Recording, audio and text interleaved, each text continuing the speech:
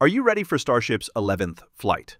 As we get closer to this historic launch, more and more details are being revealed. And just recently, SpaceX finally dropped a full update on what to expect. So, what's in store for the final flight of the Block 2 Starship? I'll give you a hint, it's going to be epic. SpaceX is targeting as soon as Monday, October 13th for the 11th flight test of Starship. As usual, the launch window opens at 6.15 p.m. CT, but this flight isn't just another test. It's got a couple of special things going for it. Starship Flight 11 will be pushing the last of the Block 2 hardware, Booster 15-2 and Ship 38, to their absolute limits. Booster 15-2 is actually the second Super Heavy booster to be reflown. It previously flew on Starship Flight Test 8 with Ship 34, where it was successfully caught afterward, marking just the third successful catch ever. And it doesn't stop there. This time, all 24 Raptor engines on the booster are reused as well. That's a pretty big step for Starship's reusability goals. According to SpaceX, this flight is all about building on the successes from Flight 10. They'll be running flight experiments to gather data for the next generation Super Heavy booster, putting Starship's heat shield through serious stress tests, and pulling off some upper stage maneuvers that simulate a future return to launch site scenario. Although the booster won't return for a catch, it does have a critical mission to demonstrate a new engine sequence for the landing burn. So how are they doing that, you ask? Well, instead of the usual method, where they relight three engines, throttle down to one, and shut off, this time, the booster will ignite 13 engines at the start of the landing burn, then switch over to 5 engines during the divert phase. SpaceX says this 5-engine setup is planned as the baseline for Block 3. The idea is to give the booster more redundancy in case any engines shut down unexpectedly during descent. After that, the booster will transition to its three center engines for the final part of the burn, enter a hover while still above the ocean, and then shut down and drop into the Gulf. The whole point here is to measure how the vehicle behaves in the real world while it switches between different phases of the landing burn, especially as engines shut down or throttle differently. Meanwhile, the Starship upper stage will be targeting several in-space objectives, including the deployment of eight Starlink simulators, which are similar in size to the next-gen Starlink satellites. These simulators will follow the same suborbital trajectory as Starship and are expected to burn up on reentry. I'm not sure if SpaceX has changed anything about how the Starlink dummies will deploy, because, if you remember, even though they successfully deployed them last time, it was a little bumpy on the way out. A single Raptor engine relight in space is also planned for this flight. As for reentry, things are getting interesting. Tiles have been intentionally removed from Starship to stress test vulnerable parts of the vehicle. What's different this time is that some of the missing tiles are in spots without any backup ablative layer, which raises eyebrows. This actually kind of conflicts with something Bill Gerstenmaier, SpaceX's vice president of build and flight reliability, said a while back. He mentioned they wouldn't push the ship too hard on the next flight, so many of us expected no missing tiles this time. But looking at Ship 38 now, it does seem like there are fewer removed tiles than on Ship 37, so maybe it's a more conservative version of that test. The flight will also include a few experiments and operational changes to prepare for future return to launch site missions. To simulate that future path, Starship will end its trajectory on Flight 11 with a dynamic banking maneuver, testing subsonic guidance algorithms right before a landing burn and splashdown in the Indian Ocean. So even though it's not flying back to Starbase this time, it's doing the groundwork for when that day comes. Oh, and we recently got a glimpse of what that return to launch site trajectory is actually going to look like. The FAA recently released a preliminary assessment of SpaceX's proposed new launch and return trajectories for Starship. According to the report, the flights wouldn't have a significant impact on the environment, which is a key requirement, but it's not the only hurdle. The biggest challenge to Starship's return to Starbase, SpaceX's launch site in Texas, is geography. Unlike Florida, where rockets can launch and land over the wide open Atlantic, Texas doesn't offer the same flexibility. To avoid flying over densely populated areas, the return path has to follow a very narrow corridor. New maps from the FAA show how that return could look. Starship would begin its descent over the Pacific Ocean, then fly over Baja California and parts of inland Mexico, carefully steering around major cities like Monterrey. The final stretch would take it over the Rio Grande Valley before descending vertically into Starbase, where the plan is to have it caught by the Mechazilla Tower. These routes are specifically designed to avoid populated areas, which reduces the risk of debris causing damage if something goes wrong. And the precision of the last Starship flight, splashing down with just a 3-meter miss, gives engineers even more confidence in their ability to stick to that narrow corridor. To get into the right orbit for this return path, SpaceX is looking at two options, a southern route between Yucatan and Cuba, or a northern route via Florida. Both keep flight time over land to a minimum.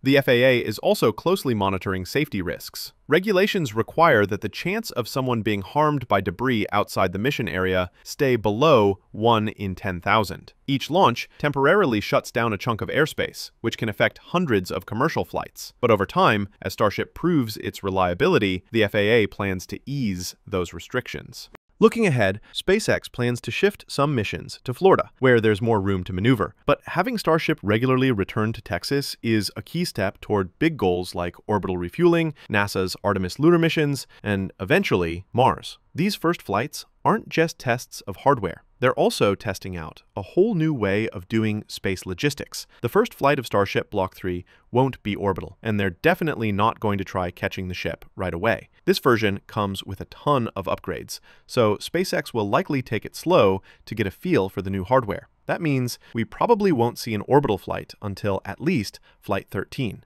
That lines up with a recent comment from Elon Musk, who said SpaceX might attempt the first full catch and recovery back at Starbase somewhere around flight 13 to 15, depending on how the next few test flights go.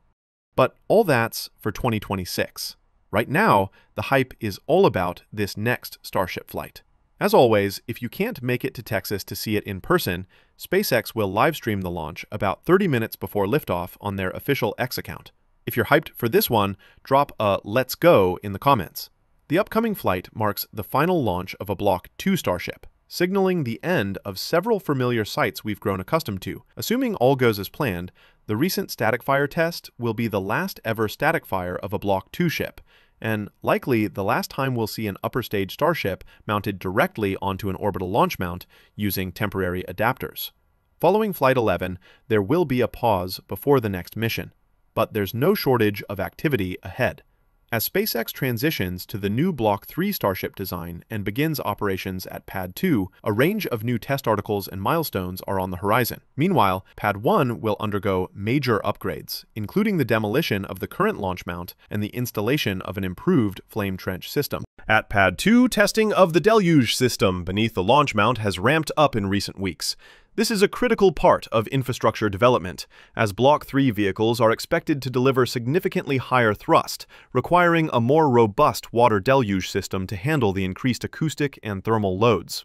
SpaceX is expected to stick with the Block 3 design for the foreseeable future, making these upgrades essential for supporting the next phase of Starship's development. Speaking about the new version of Starship, look at this render. At first glance, you might think this unusual render shows a poorly modeled version of SpaceX's Starship, complete with an oddly proportioned Super Heavy booster. But this is actually a concept image of a new European rocket, part of a bold step toward reusability in the continent's space ambitions. In a significant move to close the gap in the global race for reusable launch vehicles, the European Space Agency, ESA, has awarded a 40 million euro, or about 44 million USD contract to Italian aerospace company Avio. The contract funds the development of a reusable upper stage demonstrator, marking a critical first step toward Europe's own answer to Starship. Avio, best known for the Vega launcher, will lead the design and development of a prototype capable of controlled re-entry and landing, a key feature of reusable systems. The goal is to reduce launch costs and increase Europe's competitiveness in the orbital launch market. While smaller in scale than Starship, this initiative is clearly inspired by SpaceX's iterative development model. The timing is notable, with Ariane 6 nearing operational status but lacking reusability features, Europe remains heavily reliant on providers like SpaceX for heavy lift capabilities. ESA leadership has been vocal about the need for sovereign launch options, particularly those embracing modern, cost-saving technologies.